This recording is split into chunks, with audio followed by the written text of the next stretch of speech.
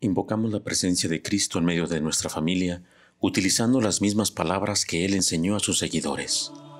Padre nuestro que estás en el cielo, santificado sea tu nombre. Venga a nosotros tu reino, hágase tu voluntad en la tierra como en el cielo.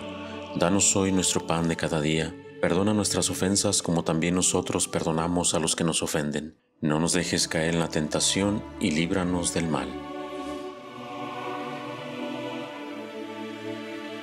Si pues ustedes, siendo malos, saben dar cosas buenas a sus hijos, cuánto más su Padre que está en los cielos dará cosas buenas a los que se las pidan.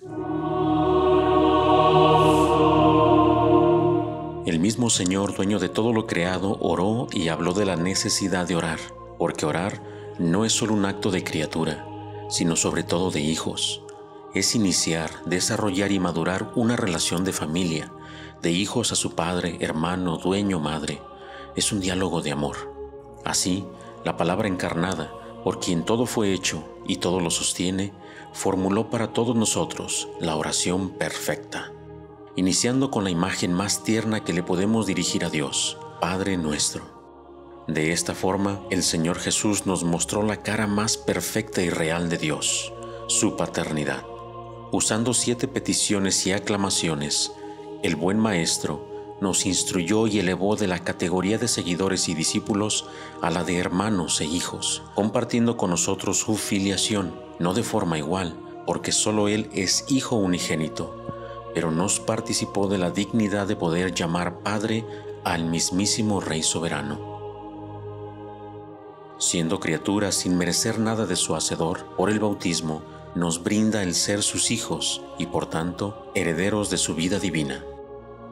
Jesús, Maestro y verdad absoluta, cubrió todas nuestras necesidades materiales y espirituales al dejarnos como herencia, por medio de sus apóstoles, en especial de los evangelistas, la oración por excelencia, que no puede faltar en ningún día de la vida de todo seguidor de Cristo.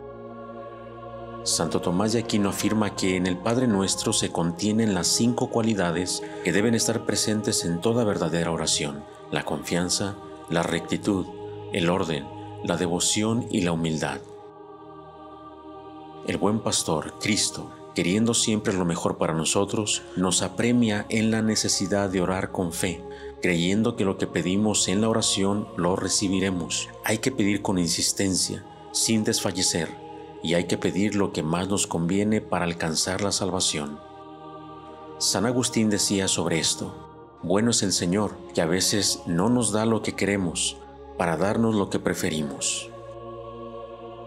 El Padre Nuestro incluye todo lo que hay que desear y todo aquello de lo que debemos huir. Debemos desear a Dios mismo primero. Después, pedimos las cosas verdaderamente necesarias que muchas veces no sabemos solicitar. Que se nos conceda alcanzar la vida eterna, cumplir la voluntad de Dios y practicar la justicia. Y pedimos lo necesario para la vida. Cada día debemos tomar la súplica humilde de aquel discípulo que hizo a la sabiduría misma, Cristo el Señor. Maestro, enséñanos a orar. No hay, no ha habido, ni habrá oración más perfecta que la pronunciada por los labios del Verbo encarnado, el Padre nuestro. Por eso hoy como familia debemos preguntarnos, cuando rezamos, ¿lo hacemos a ejemplo de Jesús? ¿Cómo nos enseñó Cristo a hablar con Dios, su Padre y nuestro Padre?